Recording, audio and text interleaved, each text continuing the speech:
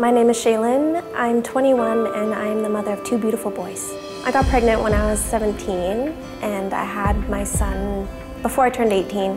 And um, basically I had no other place to go. I lived at my sister's house and I overstayed my welcome. I babysat hoping to make some money to at least get some diapers prepared for when he was born, but things just weren't working out. I wasn't making enough and I had nothing for him. My social worker told me about Aunt Leah's and I was like, that sounds great. Anywhere but here. A lot of the mums don't have family of their own.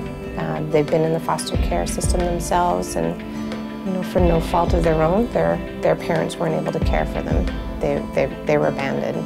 And so a lot of these mums, they're, they're figuring out how to parent without having any example of what a parent is in their life.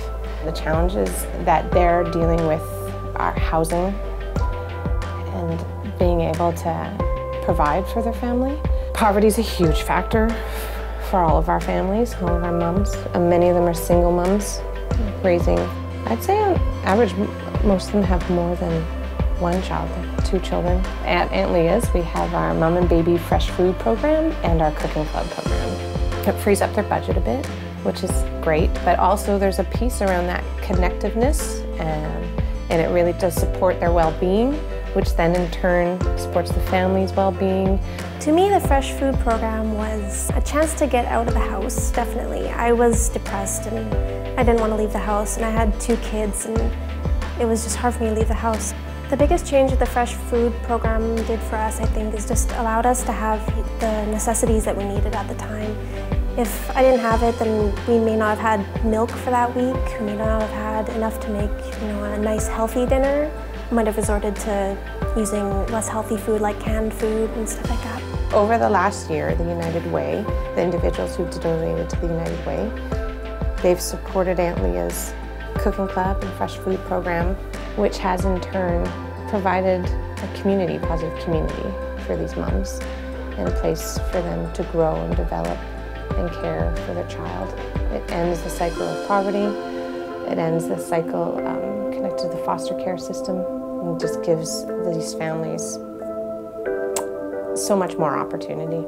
United Way plays a pretty unique role and a unique leadership role with uh, child poverty. In addition to funding direct programs, um, United Way also teaches agencies how they can play a key role in changing the system. But using our training, Aunt Leah's all of a sudden, you know, will be in a better position to advocate and to help break down barriers and public policy barriers that, you know, that will make it easier for foster children and their babies to get the care that they need, even beyond 19 years old.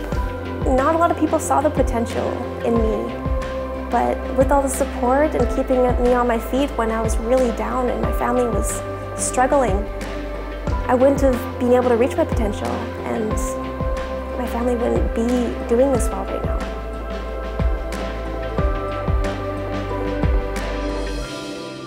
Thanks to you, United Way is helping children and seniors live better lives right here in our community. I'm CTV's Mike Killeen. We're all in this together, so please give to United Way today. Proudly supported by CTV.